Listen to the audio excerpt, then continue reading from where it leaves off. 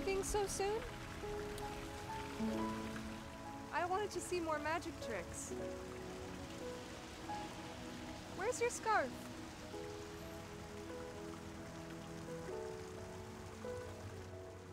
Now, why did you do that?